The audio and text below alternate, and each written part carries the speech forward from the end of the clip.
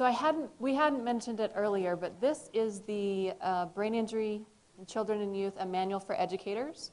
Um, if you guys don't know about this resource, it's a great resource. All of the information that we're talking about is in here.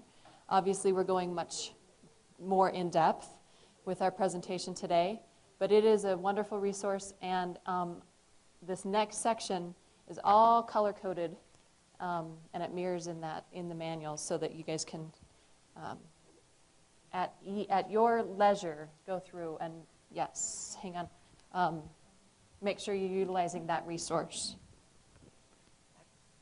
Actually, mine is just a compliment. That manual's wonderful. It is wonderful. Thank you, thank you. Did you hear that, Karen? we, we did spend a lot of time on that, and we're actually um, going to revise it and add some more stuff to it, but thank you for that. It is a, it is a wonderful resource, so make sure you guys are using it. So when we look at the typical ways um, that um, our brain develops and the typical impacts, uh, one way to understand the developing brain um, and through the, the typical impacts is through the hierarchy of neurocognitive development. And that's what this pyramid kind of represents, is this hierarchy of how uh, processes and skills in our brain develop and can be impacted. But it's a really good way to try to understand and help our teams um, understand that we really do have to drill down. It's not just about starting at that higher order level, which is the emotional, social, behavioral level, which is typically what we get, right? Is we, we have teachers call us in and say, come and get this kid out of my classroom because he's behaviorally blah, blah, blah, fill in the blank. And this is where we, as special education teams, need to really make sure we're drilling down and we're really truly identifying what is at play here. Yes, it could be a social impact. Yes, it could be a behavioral regulation piece. But what are some of the underlying, more foundational skills that could be um, areas of deficit as well? So this helps us understand kind of how that, um, or one way to understand how that works. So when we look at all of the orange, again, it's color coded to, to help us kind of figure this out, all of those orange levels, we're really looking at um, the things that are really highly, highly sensitive to brain injury. And when I also, again, remember I'm talking brain injury and it's all acquired brain injuries, traumatic and non traumatic, but it's all those congenital areas. To, these are mirroring um, all of those areas of deficit. So um, apply this broadly. Um, we're really looking at attention, processing speed, memory, and sensory motor. These are the things that are highly, highly uh, sensitive to brain injury. And you will see some impact, whether it be for a few moments or longer term, but you'll see some impact in this with a brain injury. These are also obviously crucial building blocks for learning. All learning all behavior, right, is our brain, correct? And attention, memory, sensory motor, and processing speed are all integral to learning. When we look at the next levels, that intermediate processes level, that is going to be um, all language, so receptive, expressive, and that social pragmatic piece. Don't forget that social pragmatic piece. Um, and also all new learning, as well as visual spatial. So everything that's coming into play, again, those building blocks on that foundational level are feeding. If that, if that foundational level is unsteady or there's gaps in that, of course you're going to have some gaps in this next level too, because it is building upon that. And it's drawing from all of those foundational skills to help with understanding of new learning, understanding of language, that kind of a thing. Of course, we get to the next level, that whole higher order processes level, and that includes all behavioral and all social emotional stuff, which is huge, as we know. And it's so big that there's a whole chapter dedicated in the manual to social emotional and that higher order thinking world. What also is included in that um, is that executive functioning, all of those frontal lobe uh, types of processes that happen um, and that develop. Remember, we have that later development process in our frontal lobes. That's where that, um, those processes lie in that higher order thinking. And of course, we're all striving as educators for the overall functioning, all of these things working in concert, all of these things coming together the way they need to come together to make sure that we have highest functioning kids. They're able not only to do academic um, and achievement types lev- type levels, but they're also able to do living skills, budgeting, all the things that we do as adults or young adults, perhaps, right after school, um, and all of our transition skills, all of those things, being able to work in a work environment, that kind of a thing. So that is, that is a difficult thing to put together for even a typical developing kid, let alone a student with brain injury.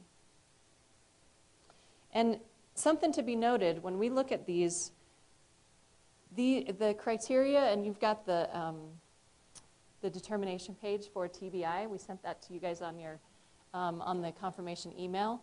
If you look at the TBI criteria, it mirrors this exactly. And there's also something to be said about educational impact, and we'll get into it a little bit more detail later on. But educational impact is just that it's the whole big picture, right? We're not just talking about TCAPs. We're talking about social, we're talking about emotional, we're talking about all of those things that make a learner. Um, executive function is one of those huge areas um, that can be very impactful for students, but it's not going to show up perhaps on a TCAP score, right? So when we talk about educational impact, we really are talking about that big broad look. So let's get into briefly the definitions of these worlds. So you also have the matrix in front of you. All of this is mirrored in that as well, um, alongside the uh, educational determination sheet for TBI. So attention and concentration is impacted much of the time with brain injury. And if you think about it's the inability to inhibit an impulse, um, the problem with attention is often underlying issue with attention deficit disorder. So you see ADHD at play perhaps in this world, but it's about that inhibition. And you might get diagnoses of ADHD um, when we see an, a deficit in this area. It may or may not be attributed to a brain injury, but that's something that could be. Definitely. So always, always keep that in mind. And what do we do for attention deficit or ADHD? Meds, typically, right? And stimulants.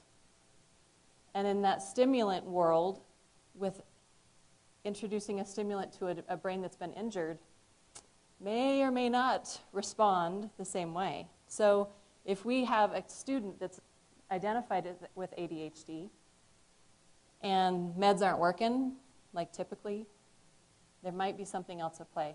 May or may not be a brain injury, right? But may or be, may be something else at play. So, something to think about with attention. Memory, again, another very high, um, highly sensitive area. Crucial building block for learning, right? How am I supposed to know to remember what happened, what I learned about last year? Attach that and build on that with the current learning and or predict what's going to happen in the future based on that learning. We always ask kids to do that connection. Prior knowledge, what I'm learning now, and perhaps predict what's going to happen next. Memory is key. It's also um, involved in the storage and organization of that information. So, how we're able to retrieve um, the right information. Karen mentioned, er, mentioned earlier the hallmark of brain injury is unevenness being able to, to pull up information on one day, perhaps not the next. That could be a memory issue and a retrieval issue um, versus willful behavior, if you will. Processing speed, um, highly sensitive again. Um, teens are rarely aware of this. They might say, wow, things are just harder. They seem harder for me. And to think about the hustle and bustle of our daily world, um, and you think about a, a 30 second kid in a two second world, or maybe even a five minute kid in a two second world, trying to maintain, trying to not only pay attention to the right stuff, but do it quick enough to where they can actually keep up and maintain and not look stupid in front of their peers or um, et cetera, et cetera, where we might see behavior. Um, I often think about the, um, our old dial up modems, you know, where they, we used to hear all the clicks and the beeps and the ching, ching, ching, ching, and then we'd connect. That's kind of where our kids are. Now it's Wi Fi, right? It's instantaneous. And that's the world that we live in, yet we still have dial up types of kids out there as far as uh, lag time and, and uh, working to keep up. Sensory motor is our last area for this fundamental uh, processes level. And that is um, just that being comfortable in your own skin kind of a thing. Where, do, where else do we see a sensory motor kind of issue come, come about usually? And what other categories or what other um, special education worlds? Autism, right? Where the student is worried about the seam on their sock because they can feel it and that's all they can think about. Or the tag in the back of their shirt, or the lights are too bright, or the street noise is too loud out the window, et cetera, et cetera, et cetera. That is something that cannot be um, selective, selectively um, um, discarded in some of our, in, with some of our students. So if we think about trying to pay attention to the right stuff and concentrating on the right stuff, that's going to be a barrier. So on to the next level, that intermediate level. And all new learning, all learning processes, when we think about um, presenting new information, new concepts. And this is where we do see um, the unevenness as well.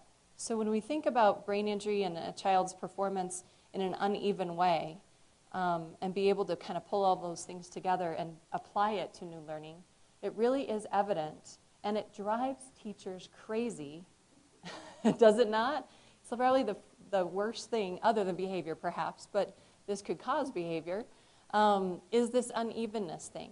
And we can think about and, and look at different examples of this. We can look about across domains.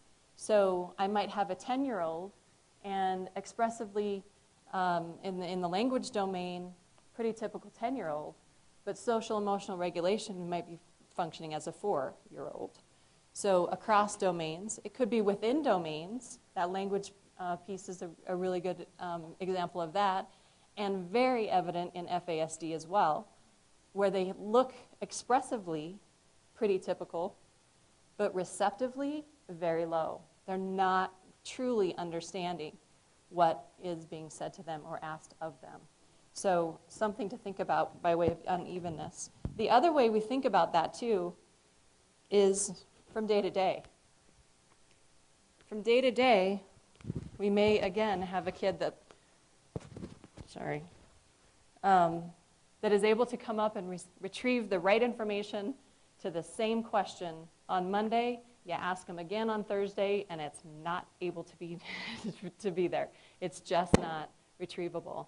So, again, unevenness across time could be an example of that as well. Yes?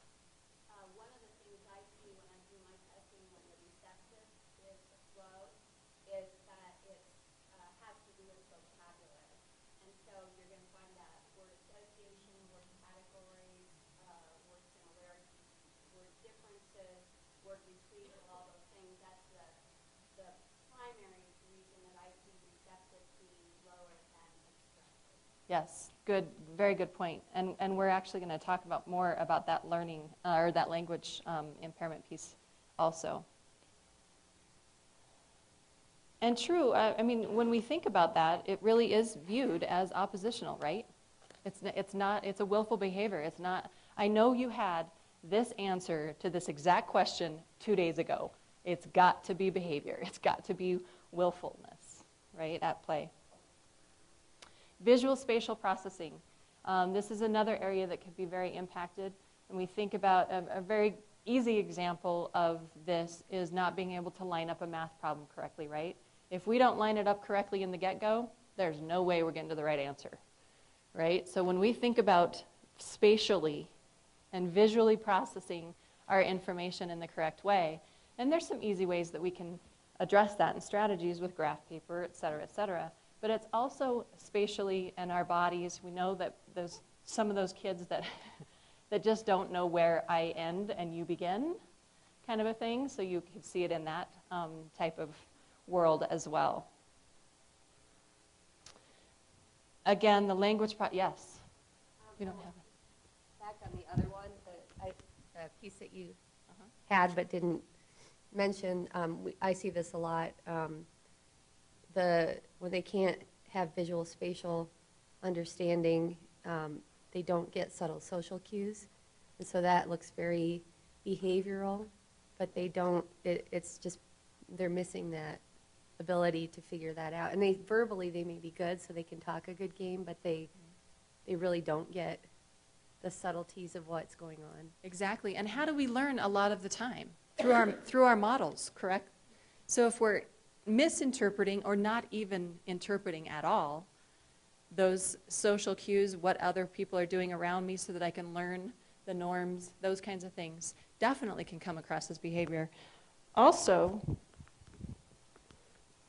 I'm, to miss this. Um, when we are um, thinking about those social cues, we, we might also have a kid that interprets facial expressions completely differently. So I might be frustrated, and that kid sees hate, and therefore it, you know, responds aggressively because they think they're in danger or something like that. So there's really um, subtle things that could be missed in this area that can end up in not so subtle consequences. so definitely something to keep in mind. Thank you. So the language processes, and, and again, Tammy's going to get into more of this, but again, all three, receptive, expressive, and social pragmatic, um, are key to making sure that we are uh, assessing in the right way and really drilling down in those areas of what is that impact. And that pragmatic piece is sometimes left out.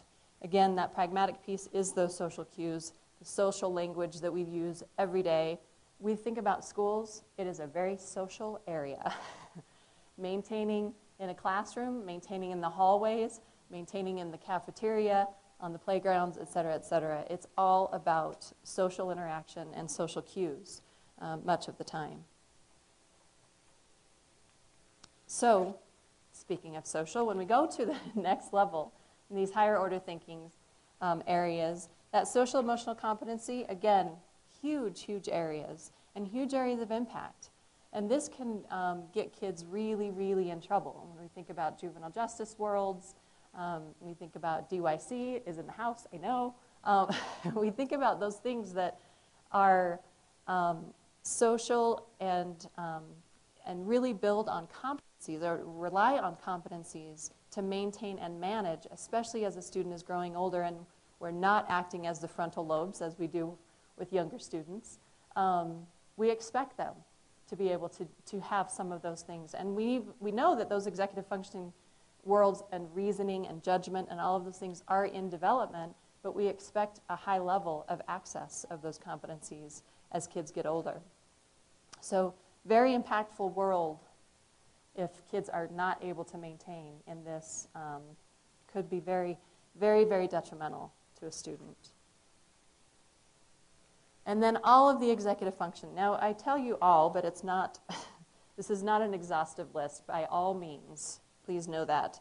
These are the typical areas. It, it, there may be other ones that are pulled in, um, but these are the areas that we've pulled out as, as the highest impacted and the typically impacted, as well as, um, and that's why it mirrors that uh, TBI category um, as far as criteria goes. So when we look at executive functioning, We've pulled out reasoning um, as one of those, and it really is consideration of evidence and drawing conclusions. Um, that is, it's all about learning, right? And it's all about impacting um, our learning. We think about mental flexibility, another area that has seen across the autism spectrum, right? Around being able to shift it's not only shifting from one room to another, or physical space environment to another, and being able to um, kind of reconcile that in your brain. Um, but it's also shifting from task to task. So when we talk about you know, breaking tasks down into little chunks, we're asking kids perhaps to transition more, but in, with easier content in front of them, lesser things to pay attention to perhaps. So there's lots to think about by way of classroom routines and how that helps in an executive functioning world. Planning, being able to set a goal, identify a sequence, and, um, and, and act to reach that goal. Is there a question? Sorry. I just have a thought in my head. Um, I've just been reading about the new numbers on autism identification that they have increased from what we even thought they were. Yes. And I'm just wondering if somehow, since autism is up there so much in the forefront, if maybe we aren't really looking at traumatic brain injury for some kids and it's going under the label of autism. Yeah, and there might be some um, some merit in that thinking. So yeah, just just last night and this morning, if you were, had the TV on, you probably saw the new new numbers for autism as one in sixty-two. Yeah, so um, again, huge jump, um, and double that for males. That uh, males was like one in forty something, and females is still higher, like one in 150 or 140, something like that. But overall, that one in 62 is now um, what we're being told by way of autism. Um, another thing that's recently come out is the use of Tylenol in when you're pregnant is causing ADHD. Tylenol has been the only safe drug, really, truly, that you can take when you're pregnant, right? And now they're saying, and it's not just one use, they're saying that over all three trimesters at some point in time um, is the research now that is linked to um, high, high um, ADHD diagnoses levels. So, um, so lots and lots of stuff coming out. Still a lot of unknowns about, but I, I think we're getting better at it, and, and, and you guys, I think, have, have the right tools um, to kind of weave through all of that information. Because that's what's going to be key, that you guys put your detective hats on to know, let's ask the right questions. Let's make sure we're taking into consideration all things so that we're not misdiagnosing or misidentifying. Remember, as educators, we don't diagnose, but we might be doing an educational identification of autism. We want to make sure that we're asking questions around brain injury. We want to make sure that we're teasing apart what truly is going on. Definitely. So, being able to plan and organize, organize our environments, our activities, our thoughts, the information in our head, being able to retrieve um, the information in an organized manner, that kind of a thing, um, all at play. And I, I can't say enough. When many, many parents um, that call in or, or I talk with um, in this world of brain injury say they, they, they express their frustration with if I have one more special ed teacher tell me that organizational skills is my student's backpack, I'm going to come across the table. I mean, there's just that it seems like as educators we think about organizing our materials, being able to get our, our homework in the right spot, doing it, bringing it back, checking it in the right right. So organizing our materials, making sure we can access our materials to do what we need to do. Much, much broader application of organizational skills when we think about organizing our thoughts um, and all of all everything that we have to do. When we think about a secondary world, I'm now in at least four teachers' classrooms, if not eight, right? And it might be every other day if you guys are on block schedules. And I have to go from one area to the other with a very busy, very loud, very physically um, challenging, perhaps, hallway in between, or a number of hallways in between.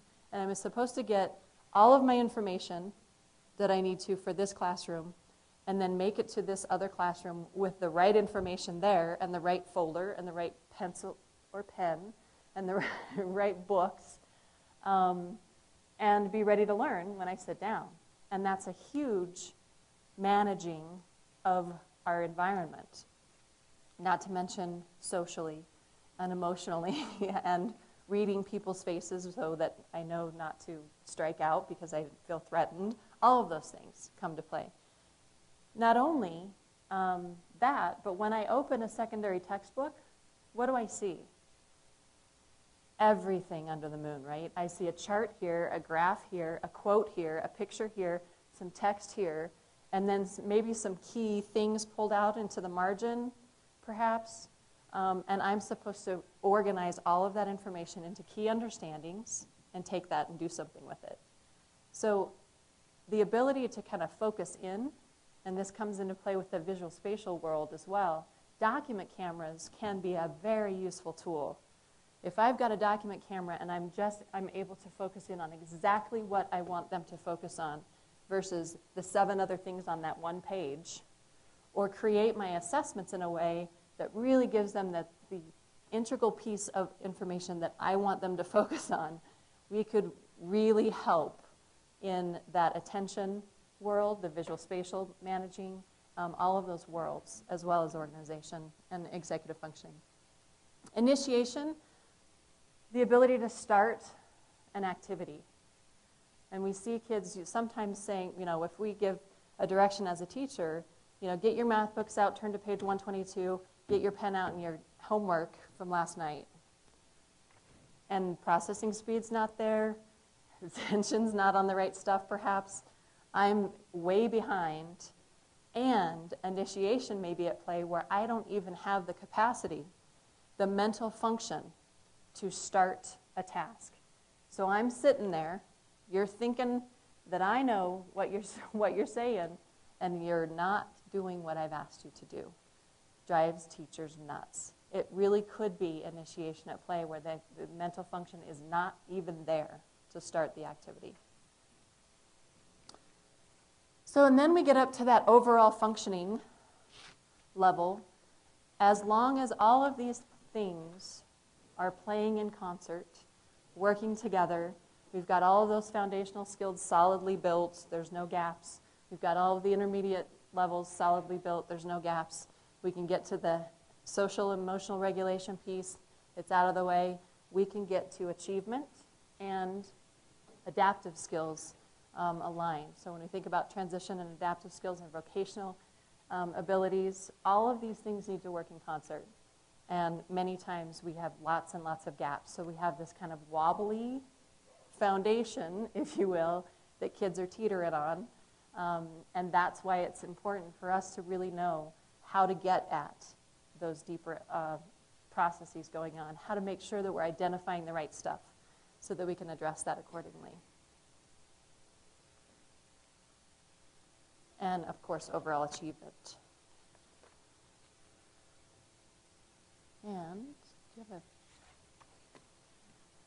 a switch gears here? Okay, so why do we go into all this detail about all of the foundational skills? Because likely, when you get called in and you're asked to consult on these kids, what you're getting asked about is the tippy top of, you know, that, you know, that, you've seen that picture with the glacier, right? And all you see is that little top part that's sticking out of the water, and underneath is all of this. Almost always, if you take Heather's um, case, where she talked about all the different classes that this child has to organize and get to, um, and get across campus with all the right materials at the right time, eventually, if this child can't get him or herself organized to do that, what are they going to do? They're going to stop going to class. And when this comes to you, it's going to be because this child is not attending class. It's going to be a behavior. If you take the initiation um, example she gave you, this child can't get started, couldn't catch the directions. What page was it? What was I supposed to pull out? So in order to not look different than anybody else, they can create some kind of disruption and then it becomes a behavior issue. They get sent out of the classroom and then it never shows that they couldn't get themselves initiated. So, on the tippy top of almost all of this is behavior. And or learning, but primarily behavior. And that is why we spend so much time trying to get you to see underneath the water.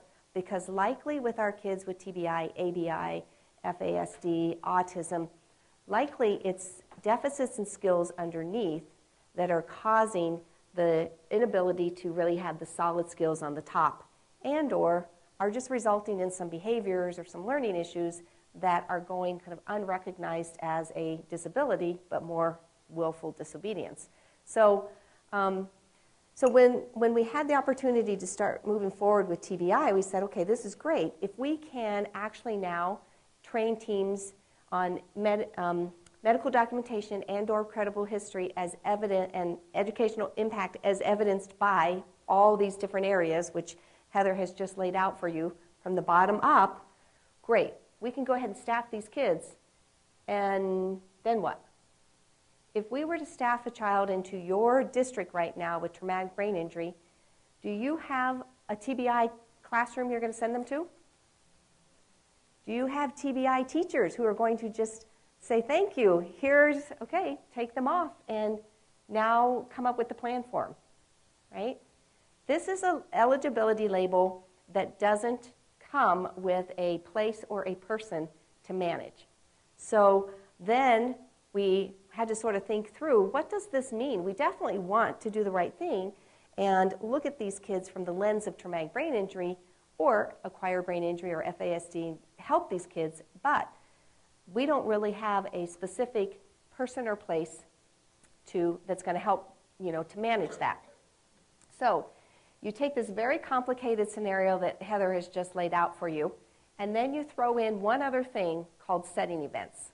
Setting events are they are any kind of um, internal or external, but primarily internal um, conditions that will make your, your typical cause and effect reinforcers and consequences ineffective. Okay? And they are very, very typical for kids who have medical conditions and or congenital and or brain injury conditions. All right? They're often things like fatigue, or the petit mal seizures, or taking num- a number of um, medications. And so that would even be for our kids with um, mental health issues that are on three different medications, where that might make them have kind of not feel so good in their stomach or have a little bit of that fogginess in their head. Um, you have the kids with autism on the spectrum, they have sensory overload. You have kids with traumatic brain injury, they have sensory underload. All of these things internally, you also have to be very well aware of the fact that even though you might come put, up, put together the best program for these kids, there are other internal and medical conditions that are kind of making this harder for you. The, um, the example that I always give is that um, I have been teaching at the UCD school psych program, and I will, um, and I teach on all DSM for school psychologists basically, and I will have my students um, do a functional behavior assessment and a behavior intervention plan for a student who refuses to eat. So the, the story is um, a, a, little, a boy named Christopher. He comes to school. Some days he eats, some days he doesn't eat. And the teachers are concerned, the parents are concerned. So put together an FBA and, and a BIP for this kid who will not eat. And so my diligent, really good students, they go out and they do all their research and they do all the things you do with an FBA BIP and they come up with these brilliant plans. And then we read the book, The Curious Incident of the Dog in the Nighttime. How many of you read that book? It is a book written in the first person by a, a young man who, in the end, I think we would say is on the spectrum, Asperger's or autism, and is from his perspective, right? And an incident happens, and, and you see why he makes the decisions he makes, and why, on the outside, these decisions make no sense to us. But to him, they make all the sense in the world, right? There are days where he gets up, and on the school bus, if he sees a yellow car, car, it's a bad day. If you see two yellow cars in a row, it's a bad, bad day. If you see three yellow cars in a row, by the time you get to school, it is one of those days where you do not eat. You just don't eat that day. Now, that's a setting event. That is something that no matter how brilliant my school psych students are, they will never be able to figure out that because he's not going to disclose that to you. And it's not even with many of our kids on the spectrum, it's not, or even OCD kinds of issues, it's not that they don't disclose it to you because sometimes they know that that's kind of strange and they don't want to disclose it to you. Sometimes they don't disclose it to you because you didn't ask them. How would you know to ask a kid, Are you not eating today because it's a super bad day and you saw three yellow cars on the way to school today? That is the only time they're going to give you the answer. It's not that they're withholding information from you, they're just concrete thinkers. If you ask me, I'll tell you. Too bad you didn't know to ask me about the three yellow cars. So, therefore, we never get to what's the FBA, what's the BIP, how do we remedy this problem of a kid not eating? That's kind of the life that we're getting into here with these kinds of kids. Um, it's very fun. You have to be very creative, but it's very challenging. So, the other thing that, on top of already a very complicated situation, you have to be aware of these setting events and these medical issues. And what it will do is make all of the higher order thinking, all of the cognitive skills, adaptive skills, and achievement skills, which we're supposed to be assessing with our TCAPs, very hard to do because we're wobbly underneath. All right? So, then of course, what we're going to talk about with the rest of today is how do you drill down and really solidify some of those foundational skills. And all day long, we're going to ask you to go back and forth from having really this full, you know, bird's eye view of a, of a student because you're seeing this big picture of how this really impacts them in their life. And it's not coming down to just one test score. But then you also then have to drill it down to what is that one foundational area where we have to start our interventions, start your interventions, and then look wide again. So it really does take a village. It takes, the, it takes an entire team, which is why we talk about teams for you guys to go back and create your teams. It isn't something that one teacher can do. It isn't something that one parent can do. If we really want to be effective with very foundational skills, this is something that we have to share the responsibility on. Um, so we're, we're going back and forth, juggling both the bird's eye view and then narrowing it down to specific interventions, stepping back, looking at the bird's eye view again. And it really does take this ongoing assessment and the patience of a team and everybody working together for this, for this new label of TBI to be very effective. Um, and nobody who really takes it on and claims it as their own. So when we had kind of the opportunity to say, okay, how are we going to roll this out? We thought, well, if we just if we had a label and peter and i were talking about this earlier if we had a label where you just did eligibility and you said okay my job is to help with eligibility here's the here's the stamp of approval now you give it to a sed teacher or you give it to an sld teacher they take that student and they create the plan around them we don't have that with tbi we don't have rooms where these kids go right so what's our team how are we going to really manage these kids we started looking at the different models of teams out there and this comes from the medical world. We're going to throw out some different ideas here. I want you to think about what you're doing in your schools. I want you to think about if any of these creative different ways would be um, interesting for you to think about in your schools and to adapt. Because working with our kids, our complicated kids, not just TBI, is going to require some thinking differently, thinking or practicing smarter, because um, these are complicated kids. So we looked at multidisciplinary. Multidisciplinary in the medical setting comes from kind of the idea where many different disciplines, cardiology, endocrinology, oh, psychiatry, everybody takes a look at one, one patient and says, okay, from my specialty area, this is what I see, this is what I think needs to be done. So the, the example that um, we've been using through this whole training is when my dad got very ill. He was 83.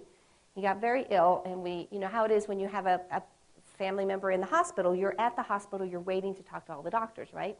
They always come at like 5:30 in the morning.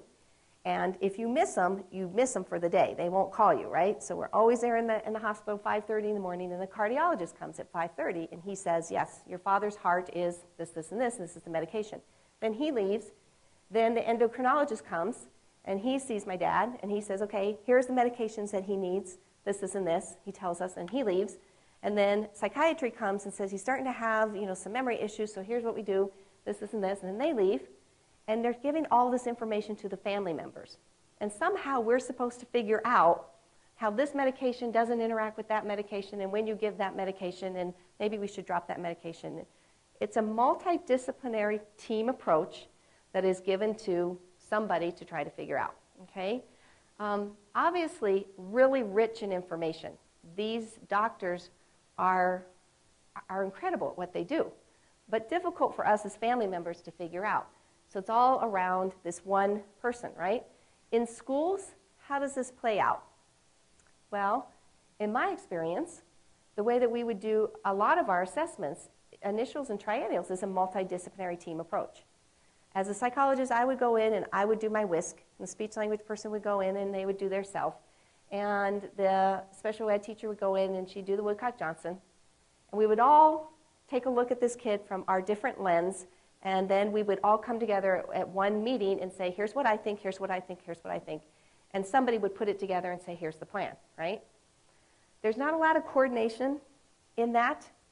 The only coordination really that I had to do as a psychologist was that was to make sure that I was letting the speech language person know that I was here on Thursdays and I had to test that kid on this Thursday. Don't test that kid on that Thursday because that's the day I'm going to test the kid, right?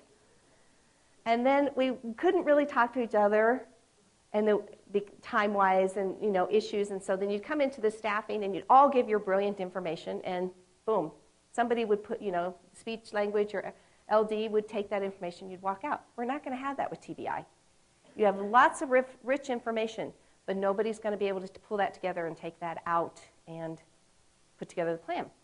So multidisciplinary great approach but let's think a little wider transdisciplinary in a medical setting comes from this idea that these different disciplines then are going to um, basically kind of train a, another person to, to do parts of what each one of the, what they do. So you take it, you, you take it to the next to the next step. You carry it to, over to the other side so that everybody sort of somebody is kind of coordinating this. In my dad's situation, once we all decided he needed to go to rehab, he went to a rehab hospital and the PT said, I want, you, I want these things worked on for walking, and the OT said, I want these things worked on for eating, and the speech language said, I want these things worked on for cognition and language, and they taught it all to the CNA. The only person that really worked with my dad every day was the CNA, who made sure that when he was eating, the OT's you know, goals were there. When he was walking, he was doing it properly with his walker. Okay? So that concept of taking your different areas and bringing it into one person, usually of not of the same level, but of a different lower level discipline, and helps to make that happen through the day. All right? In the world of education, transdisciplinary came in under the Child Find, and a lot of early education teams started doing transdisciplinary teams where everybody takes a look at this child all at the same time. So different than the multidisciplinary. If you've ever done a, a transdisciplinary assessment, they are so much fun, right? You're in there with your colleagues, you're all looking together, and then, but you're still looking from your lens, and then you, you kind of create a plan together and write a joint report. And then uh, the, the early educator is the one that kind of makes sure that that happens through the day. So you kind of train, you give, you give it to someone to make it happen and implement it daily. So we do have transdisciplinary in our settings in terms of education, if we were to do a transdisciplinary and we're going to take all of our information and then train it to somebody, who would that usually be in education? A gen ed teacher, a sped teacher. If we're going to give it, yeah, if we're going to give it to to somewhat like a lab, like a special ed teacher to do to oversee, but really, is she going to do all of that, or who does she train? The aide. There's often a para, right? If we have complicated kids, we'll have then we will teach a para to do some things, right? Well, I don't know about your districts, but the idea of staffing kids into to TBI and thinking there's going to be a para for them is just not realistic, right? I used to, I used to direct the TBI team in my district, and people would call me up and say, I want to staff this kid TBI because that means he comes with a para, right? That means you're going to get me a para from admin. No, it doesn't go that way. Paras are hard to get. Paras are, are well intended, wonderful people, but likely not going to be able to handle the complexity of what Heather just went through. And having kids who are high functioning in many ways have a para with them is often not the best way either, right? So that's not going to really work either, transdisciplinary. So that's sort of like an idea, but a, a very limited way to go as well. So we started thinking about the interdisciplinary team approach. The interdisciplinary team approach is a concept where you're combining academic disciplines and you are creating something new by crossing boundaries. There is shared responsibility, there is interaction between the disciplines, um, and it requires a lot of communication, it requires a lot of collaboration. The, there is an experience that I had in my district where we were doing interdisciplinary assessments with our kids that were the most complicated. They were the ones staffed into our ILC programs, so they had either medical issues or very significant um, issues of, of TBI, autism. And we practiced interdisciplinary on a regular basis. And as we go forward with you all thinking about how you're going to manage your kids with traumatic brain injury, I'm going to throw out this model as a way to think differently and be very creative with these kids. Because if you remember, this isn't something any one person can do. This is something that your team needs to work on together. So, an interdisciplinary model is going to get your teams working more closely, more creatively, and working smarter, not harder, not more time, but very thoughtful and useful with your time. So, the way that the, we that we worked this out is, um, is, is when we would go forward with these complicated kids, of course, what are we trying to really look at here? Well, one thing, of course, is eligibility. That's why we're all here, right? But why do we want to do eligibility? What is the purpose of saying that this kiddo has this label versus that label? Well, tracking, all of that kind of thing. But day to day, in terms of serving these children, what we're really trying to figure out in our assessments is how to intervene and why and who, all of those things. So, really, to direct the interventions and to make the plan very meaningful and purposeful for each student is really the, the goal. We'll still get to that tippy top of that, of that pyramid, but we're going to do it because we're really thinking about the whole child. So, we would have these meetings um, where we would we would want to ask the question why are we doing the testing and what's really the issue with these students. So, for example, about a month before a triennial review would come up, we would actually have a meeting prior to that date. And at that meeting, we would ask the questions what do we really need to assess this time? In that meeting, we would pull together all the important stakeholders. So, the parents, the student, of course, the teachers, related services, but anyone else in the community that was also involved in this child's life mental health, juvenile diversion, anybody else that had, or vocational, a boss, anything like that, to really ask the questions. Because you know, if you've worked in a high school, for example, as you approach a triennial with a complicated kid, doing another cognitive is not going to necessarily give us the answers that we need. How is that going to impact what's going to happen when they get to transition? And what's to what they really need to work on in the precious two years we have left. So we would pull together everybody and we would ask the questions what do we really need to be looking at? And we would give ourselves permission to not necessarily just do all the same tests over and over, but to do, but to do what tests we needed to do to answer the questions.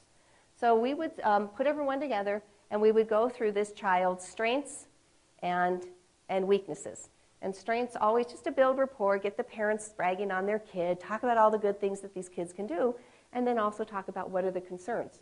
He's, in, uh, he's a 10th grader, and now we got to start thinking about transition. He, you know, all of these other concerns, not just academics. I can guarantee you, it is rare that one of the concerns that would come up, you know, would be, I absolutely need another cognitive test. This is his fourth. You know, that there were often other questions that I, as a school psychologist, could answer. And so we would think strengths and concerns, and we would think functionally across all different communities, not just school, but home and um, community, work, environment. Um, and that gets back to kind of the question of academics versus educational impact in general, the whole child. We would come up with about five concerns, and that we'd say, okay, th- these are really the questions. For this evaluation, this is really what we want to know we would come up with about five questions and we would say, who's going to go answer those questions? We would assign those to various stakeholders, not by discipline, but by creatively. There are things that parents could gather for us, information. There are different ways that we could use our staff to answer certain questions. So we would say, who's going to come back with the answers to these questions?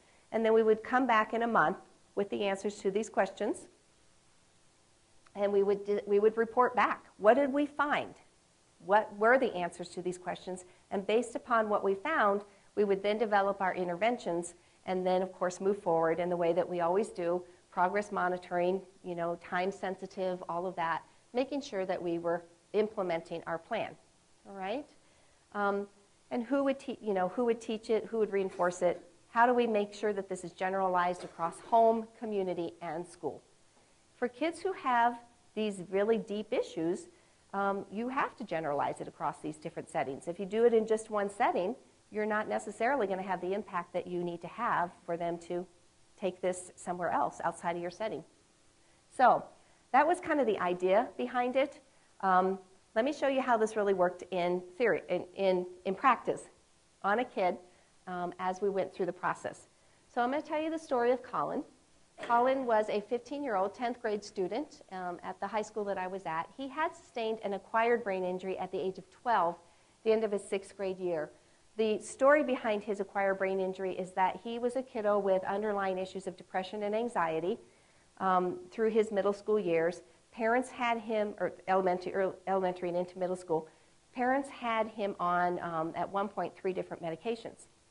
And mom felt uncomfortable with him being on these three different medications, so she called the psychiatrist and said, You know, I think that we need to relook at these meds. Can we take him off some of these meds? And the psychiatrist, the story is, told the mom, Well, yeah, go ahead and take him off of one. And she said, Well, which one? And he said, I don't know, just whichever one. Pick one, take him off of it. So she did. And within a week or two, his depression came back. He started spiraling down, and his demeanor changed. And one night, mom and dad were out, and they came home and they found Colin hanging from the like the rafters, and, the, they had a loft in their house. And he was still alive, but he had he had crushed his trachea, and he had had an anoxic injury. So he was in the hospital for quite a period of time. So there was no question there was a significant injury he was staffed with acquired brain injury because it was not traumatic, right? Um, and you, can you imagine mom's guilt and her grieving of this, even though anybody here in this room would say it was not fair of that psychiatrist to tell her to pick which, which one to come off of, right? So before all of this, though, before he got staffed in, he was a very high achieving kid, really no issues. We had no baseline data on him. He didn't have any learning issues before. And he was really into science, had some really big plans for himself as he got, uh, got on through his life. I'm just going to jump right in here, Karen. Mhm. So, just a reminder even though obviously a traumatic event, correct? correct? N- a non traumatic injury, um, anoxic, lack of oxygen is a non traumatic brain injury. So, um, still under the umbrella of acquired brain injury, but it's a non traumatic, so we wouldn't be able to go down the road of TBI for the special ed category, right? So, just to want to reiterate that category. Yep. At that time, uh, physically handicapped. Okay, so spent a good time in the hospital following the suicide attempt, ABI, physically handicapped, right? Um, managed, of course, with physical handicap, it's the same thing as our, our current issue that we just talked about with TBI, right? There are not case managers per se for physical handicap. Um, so he was case managed by our speech language person and serviced with some supports from learning, um, learning disabilities. And we happened to have the magnet program that had the um, deaf and hard of hearing. So we also crossed over and he was in some of those classes and that teacher helped us quite a bit. So again, there's that village, right? Um, the thing that was complicated with Colin is that he was in the juvenile diversion program. So after all of this happened in his recovery, um, he had a situation where he was um, in the summer. He went over to a neighbor's house, a friend of his. So the boy was of his same age, but that boy had a younger sibling, a little girl. And Colin has this issue where he likes to take a cloth material and tie it around your eyes. He tied that around the little girl's eyes, and it scared her. There was nothing that happened between them that we could tell, but of course it was concerning to both families. And so um, they had made the decision that they were going to put him in the diversion program and teach him the risk cycle, you know, which is, you know, being able to trigger your, you know, your own thoughts or your behaviors that are going to lead you down to this and change that so that you don't continue on through these behaviors that will get you into, the, into this kind of trouble. So he was um, in this diversion program, kind of as a gift, and you know, let's not, let's not, you know, let's try to divert this or let's try to intervene and not make this a serious issue. And then what ended up happening right before his triennial is that he had just reoffended. He had reoffended by, we were trying to get him involved with their typical peers. He was working on the school play, and he was back behind the scenes, like back behind in the theater, um, you know, the props and behind the curtains. And there was a girl back there, same age, a peer, and he did the same thing where he took a, piece, a cloth and he tied it around her eyes, and it scared her. And again, so the juvenile diversion officer is concerned about this. Now, now do we need to stop the diversion and go further um, and actually you know, start to go down the process of more DYC kinds of things with this kiddo. So the questions for Colin um, is obviously not a cognitive, right? Um, and some of the guiding questions that we're going to introduce to you here, you're actually going to do with cases this afternoon. So these guiding questions, what was the reason for the referral? Well, yes, he had a triennial coming up, but really more importantly, we needed to do an IEP review at this point. We, um, and there was a lot of questions that juvenile diversion was sort of looking to us to answer about what do we do with this kid, given that the ABI. So the big questions, of course, is was he can was he just making a bad choice to continue to do this behavior, even though we've taught him this risk cycle, um, and he's just choosing not to do it? Um, of course, the parents had questions about what are we going to do with him after high school because here we are in 10th grade and we still we've got these issues. Um, is he ever going to be able to be socially adaptive, vocationally um, successful after high school? Of course, there were concerns about overall mental health. There were pre injury, and so now what are we dealing with with all of this? And then, yes, what were his academic abilities at this point? Um, so, so those are kind of the questions that we start with. What information do we need to get? Is it formal information? Is it informal information? Um, what you know, disabilities are we considering? So this is where we started doing our interdisciplinary assessment. And you will see how that assessment or how that program or approach, I'd say, I should say, lends itself to answering these questions. Um, what, did the, what was the information that we found? How then did that um, direct our interventions? And what happened with Colin? So here's what we did. We pulled everyone together, including diversion, um, and we had this meeting where we talked about his strengths and his weaknesses. So he had some great strengths in his language arts classes. He was struggling in math. He, um, and his CSAPs, you can see there, show that same kind of a pattern. In terms of his testing earlier um, with um, language testing, you see that there's that inconsistency or that difference, unevenness on the expressive versus receptive with 116 to 96. His earlier WISC showed the kind of typical pattern that you see with a kid with a brain injury, whether it's acquired or traumatic, where often your verbal and your performance, your, your, your larger domains are going to look okay, but when you start looking at processing speed and working memory, that's where you start to sometimes see that those are lower than the overall scores. So the inconsistency within the domain. And then in terms of just things about Colin, he was a good kid. He tried to please. He could be very very cooperative with um, his teachers, with his um, sibling, and he always wanted to help out. But of course, the concerns that we were having, his teachers were concerned that currently, recently, he was having some work completion problems. He had some very poor social skills, and obviously, tying a, a, a handkerchief around someone's eyes when they're saying no is a poor social skill, um, and or it's an ability to inhibit an internal response, something going on there. So he had some very rigid thinking, he had no sense of humor, and of course, juvenile diversion was wondering is this risk cycle treatment very effective or not? So the questions that we came up with from this evaluation was um, let's start with an easy one work completion. Is, he, does he, is it that he can't do the work, or is he just a typical kid who sometimes doesn't want to do the work? Okay, so it's a can't versus won't. Or is that he can't get himself started, or is it that he can't attend long enough to figure out what the work is, which is the you know, foundational attentional issue? Or is it that he knows what the work is, but he can't remember to do it? Is it a memory issue? Okay? Poor social skills, well, obviously, there are some issues with he's beginning to get into conflicts with teachers about some of the work, and he's got some issues with his peers.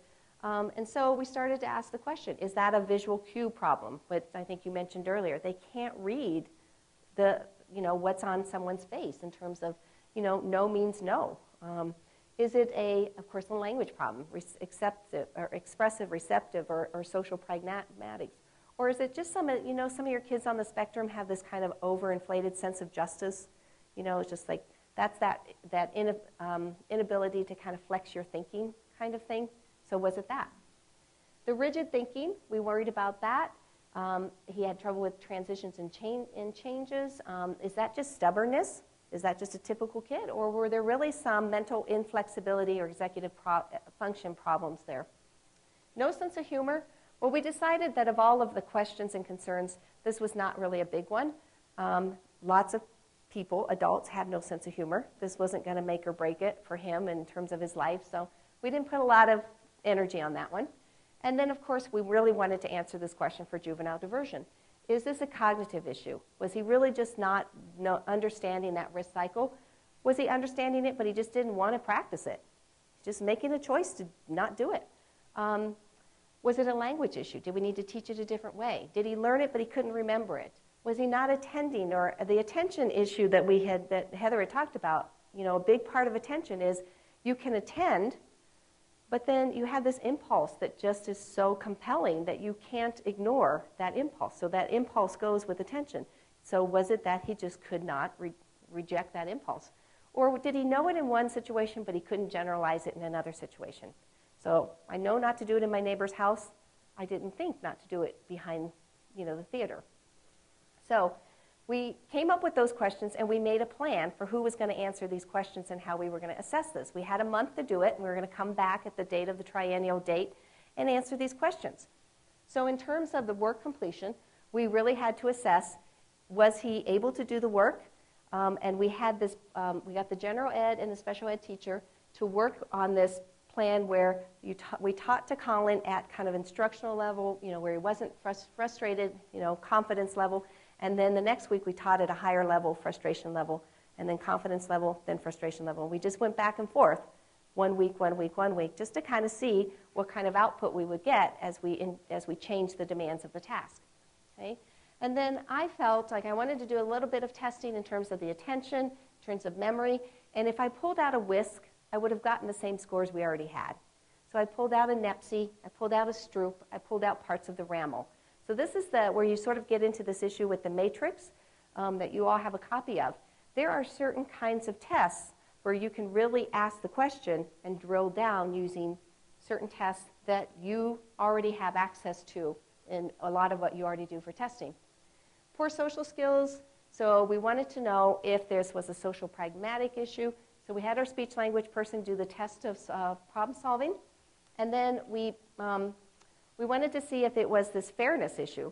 So we had the parents um, do, do situations where they would just give things to the, to the younger daughter and he didn't get it. So it was just unfair and just see how he handled that. We had the juvenile diversion um, officer, or they had sort of a group setting, just kind of play around a little bit with, you know, these group members got this, oh, and Colin, you don't. And just see how he could handle the in, inequality of, of fairness kind of thing rigid thinking. Um, we wanted to kind of see how that was going to impact him vocationally. We did the vocational screen. And we also asked him to run a couple passes where um, we wanted to set up a little bit of frustration. So on a, on a particular day, we had him come out of the deaf and hard of hearing classroom to run a pass to the office. And I would stand at that office door and say, There's a big meeting going on there. Colin can't get in there. Sorry, you can't deliver that pass to Miss Johnson this morning. Not going to happen. What would, he ha- what would he do with the frustration? How would he handle the inability to complete his task? So we tried a couple of different things where we sort of frustrated him and um, see what he would do with that, that increased level of frustration. Juvenile diversion, we wanted to see did he really understand the risk cycle? And so the juvenile diversion officer made sure that he recited it, and then I also made sure that he could recite it to me so, you know, with, he understood it. So, what was the issue then with that? So we came back after a month of everybody going out and doing their assignments and trying to answer these questions. And what we found was that Colin was a typical teenager. If you taught him to a level that he could understand it, he could do the work, um, it was fine. If it was at a frustration level, he didn't want to do the work, um, that was typical. It got harder, and, and lot, like a lot of our kids, if it got harder, they just didn't want to do it. So that was not a brain injury issue. That was just typical teenager. We did some testing with his um, ability on, on inhibition with the NEPSY. His ability to inhibit was very poor. He could not resist temptations or, or, or thoughts that would override, even in testing. So when you're doing testing with that, you you know, I want you to, you know, tell me the tell me the color, not the word. He couldn't override the easier response, which is just to read the word, kind of thing. Um, memory was average um, verbal memory, but and but visual memory was much lower. And then when you looked at delayed memory over time, there was a real decline. So what you were teaching him now was not necessarily sticking over time, and you couldn't be sure that what you had taught him was still there a little bit later. It would require much more reinforcement. In terms of speech language, his pragmatic, pragmatic testing, of course, was what we would expect lower than his actual receptive or expressive language, and um, even that was a difference between those two. And then in terms of getting him to understand the fairness, he really did have a very difficult time if other people got things that he didn't. He would express that. He couldn't say why, it just was unfair. So he didn't have a lot of empathy that other people could get things that he couldn't. Um, so that's what came out of that. Um, we did some vocational testing. Um, we thought it might be better to start with him in kind of a more individual setting than a, a large group setting um, to start some of the vocational training for him. Um, we noticed that when we sent him on passes and we frustrated him, he just could not, his cognitive skills just really deteriorated. He could not think or problem solve what the next step is. How do I get this pass to so and so? Who do I go talk to to get through this process?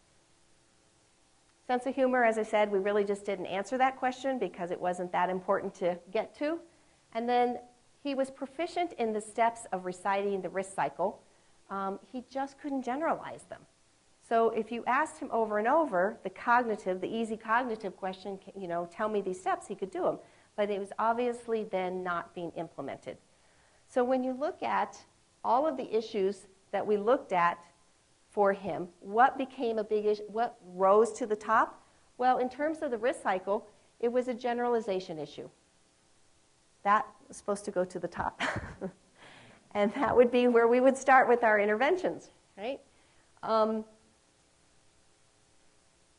um, language, um, I don't know why that went down to the bottom.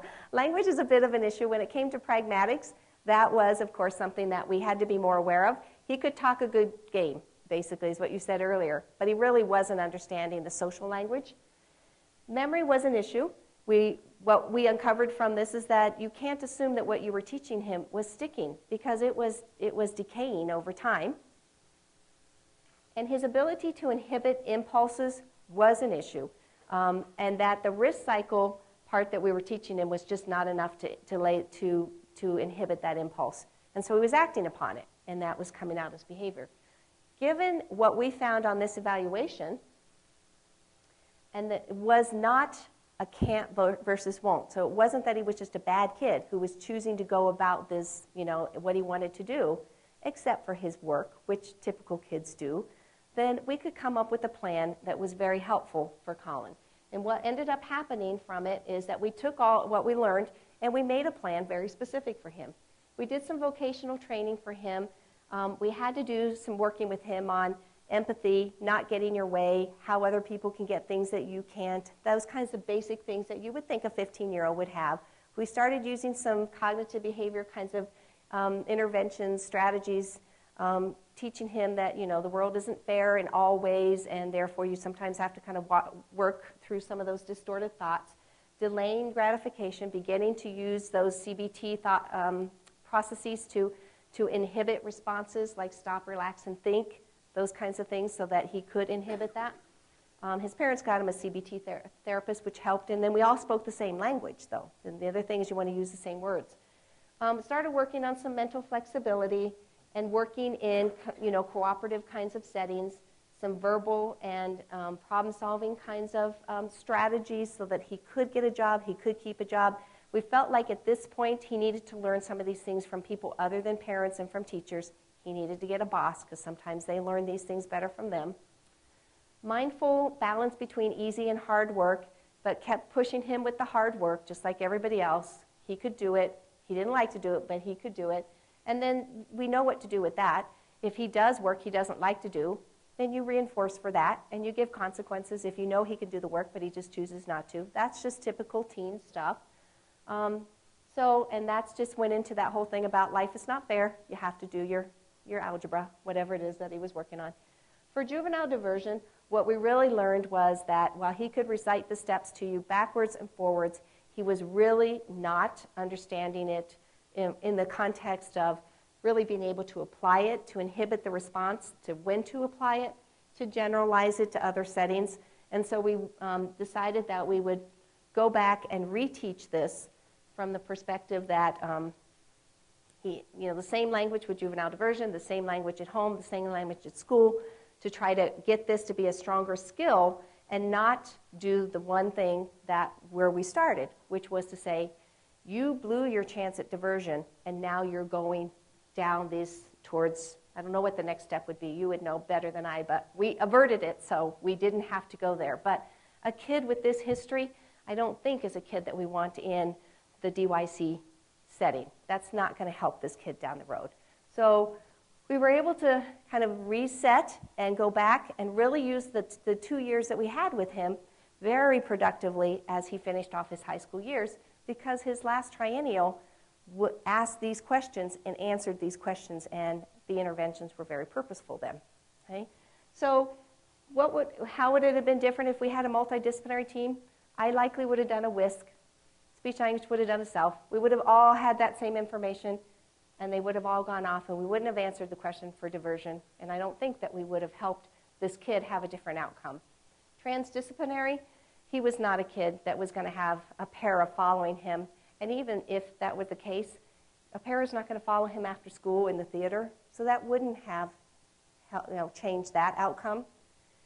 There were things missing on our interdisciplinary team. We didn't have any medical voice on our, our interdisciplinary team.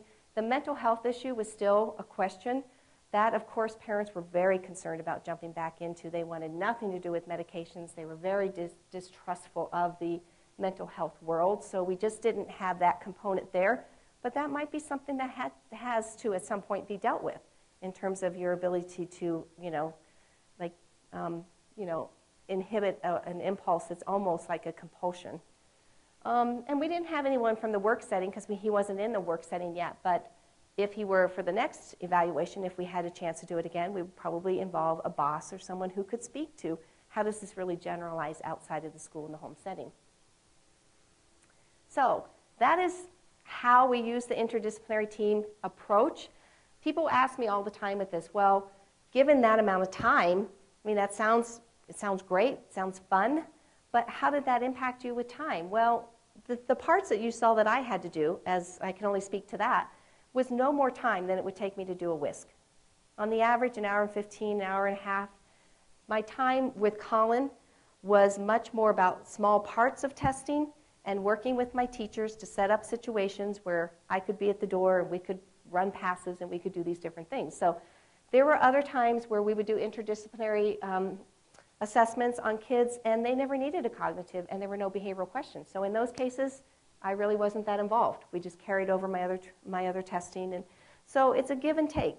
It's not more testing, it's not more time, it's just very purposeful testing and very purposeful assessments and it's a shared team responsibility. And that's what I love about this interdisciplinary. And given that I don't have kids to give these to, a TBI person or a TBI place, this is probably a good way to think about managing many of your complicated kids. So think about it, digest it a little bit. We'll go through some more cases as we go through this. Um, and um, yeah, just kind of think about it.